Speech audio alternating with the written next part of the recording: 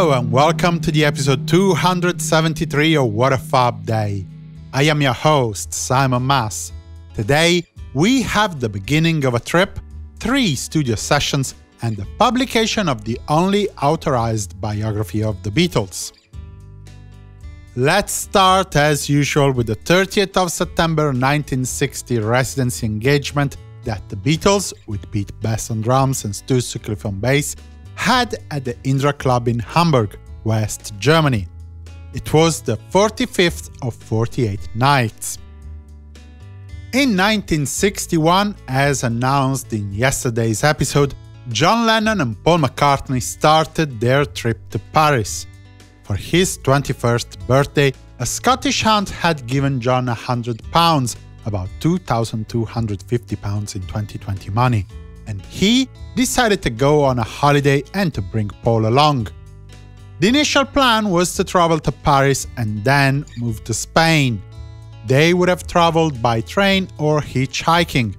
As Paul himself explains in the Beatles anthology book, I had done a spot of hitchhiking with George and we knew you had to have a gimmick. We had been turned down so often and we'd seen that guys that had a gimmick like a Union Jack around them, had always got the lifts. So I said to John, let's get a couple of bowler hats. The hats, wore with their quote-unquote rocker uniform, leather jackets and drainpipe trousers, were comical enough to attract the attention of some drivers, and indeed, the two managed to get to Paris without spending a fortune on train tickets. Having arrived in Paris, John and Paul decided to stay and visit the city. They were tired of hitchhiking, they worried that the money wouldn't stretch as far as Spain and that they would be forced to work to pay for their holiday, and then they had never visited the Ville Lumiere. They went out and about, and by chance, they met their old Hamburg friend Jürgen Vollmer.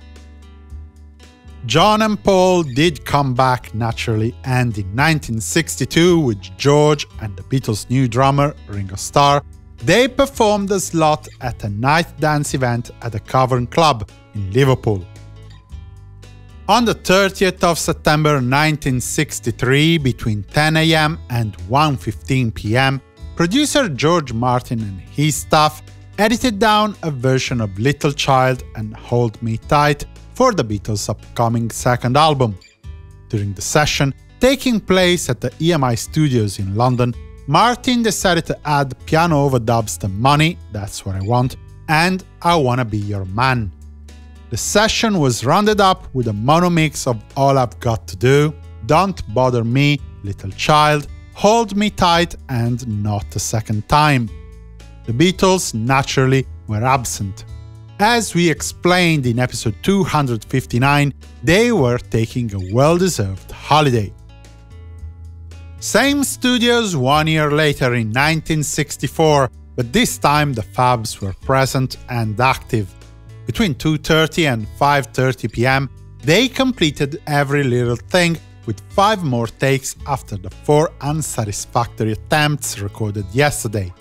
Then, starting at 6.30 pm, they recorded take 8 to 11 of What You're Doing, abandoning the song when they realized that their performance still wasn't good enough.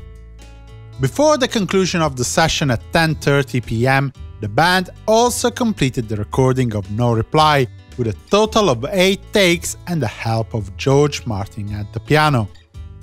Segue into the help you can give me to keep on producing an increasingly better output of music-related material and or to make this community grow. If you are wondering what indeed you can do, this must be the first episode you're listening to. No shame and welcome. Just head to www.simonmas.com support and check out all the possibilities. And since you're there, have a look at the section about the extended deluxe version of this podcast, which should be already on sale as an NFT as you listen to this.